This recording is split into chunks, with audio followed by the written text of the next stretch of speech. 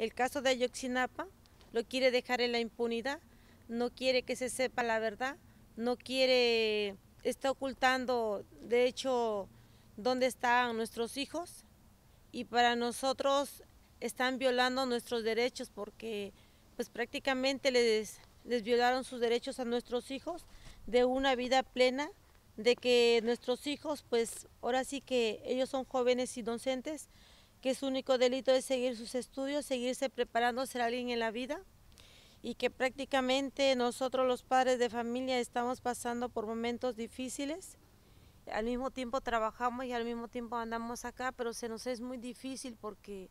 por ejemplo, en mi caso, pues yo soy de Tisla de Guerrero y los demás padres de familia pues tienen que pagar el pasaje de, de donde viven hasta llegar a la Escuela Normal de Yuxinapa. Ahí nos reunimos, tomamos opiniones,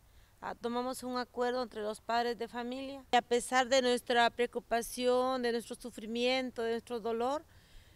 pues ya enfermos los papás desde el día 26 y 27 de septiembre, pues ahora sí que aunque estemos cansados, aunque estemos enfermos, aunque estemos eh, ahora sí que con un dolor de cabeza intenso o enfermos, decimos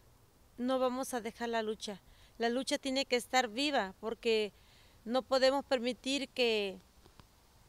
que el gobierno siga desapareciendo a, a más gente.